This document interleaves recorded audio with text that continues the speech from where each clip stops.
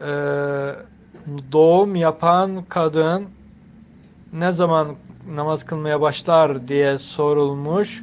Doğum yapan bir kadın nifas halidir bu hal. Bu hal ondan gelen kanın ismi nifas kanıdır. Bunun müddeti kişiden kişiye göre değişmektedir.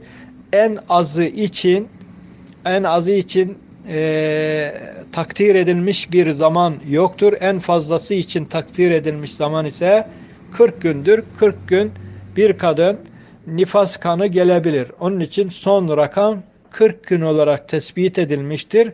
Ümmü Seleme radıyallahu anhanın rivayet ettiği hadiste bu şekilde takdir edilmiştir. Onun dışında daha da kan devam ediyorsa on o kan hastalık kanı olarak kabul edilmiştir. O kan kişiyi namazdan, oruçtan ve e, benzeri şeylerden alıkoymaz. Ancak 40 gün süreyle kan gelmeye devam ederse kadın bu sürede namaz kılamaz, oruç tutamaz çünkü bu kan nifas kanıdır. Vallahu alem.